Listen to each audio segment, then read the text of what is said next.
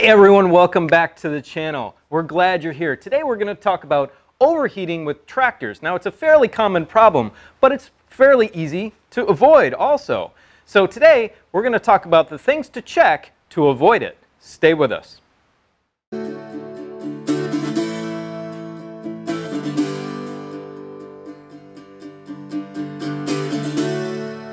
Here we are with our 2000 Cub Cadet tractor with our 1.4 liter Mitsubishi diesel engine in it.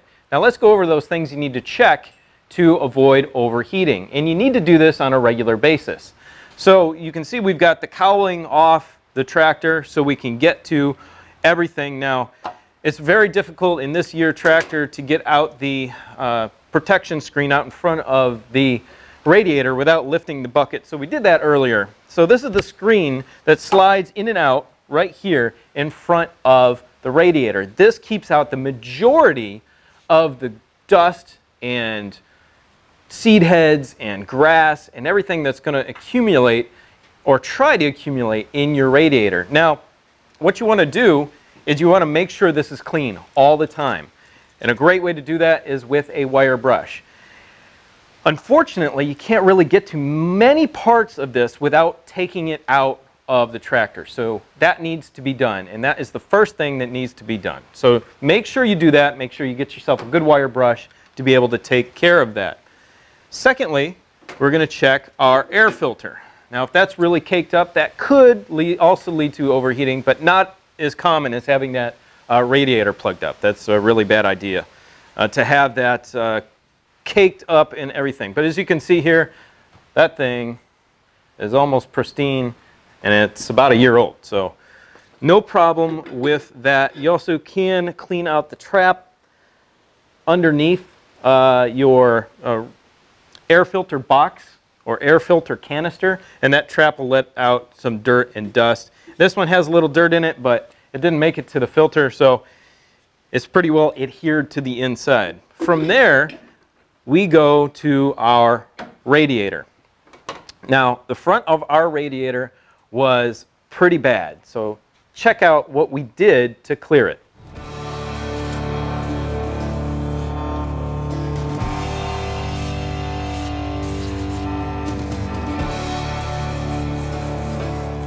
So a handy tool if your radiator is really caked up is an air compressor with an air hose with a nozzle just like this. You want to get behind the radiator and blow whatever debris is in there back out the front. Because it came in through the front, it needs to go back out the front. If you try to blow it back into the engine, it's going to probably get even more stuck in that radiator, and that's not a good idea. Blow it from the back to the front. Now, however you can get in there best is great. Just make sure you um, get all of that dirt and debris out of your radiator. If there is a, just a little bit of dust in there, and just a little bit of debris, you can use a very soft bristled, bristled brush to go over the front of the radiator. Now be careful. You want to go in the direction of the fins. Most fins go like this from top to bottom. You want to brush with the fin, not up and down. You don't want to bend those fins or you'll damage the radiator. One of the last things to check for is your coolant level. Now let's bring you in here. Okay, now make sure when you check your coolant level, you do not open your radiator when it's hot. You will scald yourself, you will burn. That's a disclaimer. Uh, don't blame me. Don't do it. Absolutely do not do it. Wait till the engine is completely cold to open this up. And we're going to look down inside and see that our radiator is nice and topped off. And actually what you can do is look on the inside of your of your cap here and look for any kind of gumming up of the cap or um, some really dirty, dirty coolant. This one, as you can see, is beautiful. It's uh, very clean, so we don't have any issues with uh, rust buildup or anything in our radiator right now that we can see. Also, make sure your overflow tank is at the proper level with the appropriate mixture of coolant to water for your climate. Now lastly, you want to check for cracks or leaks in your, all of your radiator hoses. If you're leaking coolant, you're probably going to overheat the engine fairly soon if you're low on coolant. So make sure you always check and monitor these.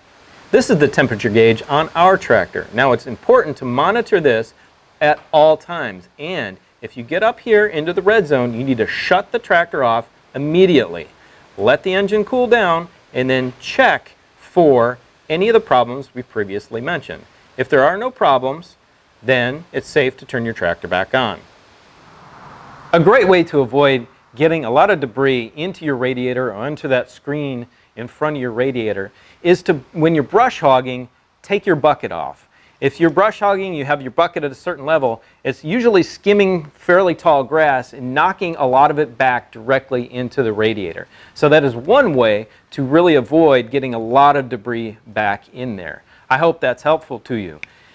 Beyond that, it's just constant maintenance. Now, a tractor this old, you really want to check for issues before every use. Check your coolant level, check for cracks in the hoses or anything of that nature, and check to see if there's debris out of that radiator and off that screen. Beyond that, have a great time using your tractor. I hope this video helped you out. We want you here on a permanent basis on our channel. If you like what we're talking about here, stick with us and hit that subscribe button along with the notification bell next to it. Also, go visit us on countrylivingexperience.com and jump down below into the, into the description to check out products and tools that we recommend that we use and are tested daily here on the homestead. We thank you for being with us. Have a great day, and we'll see you on the next video.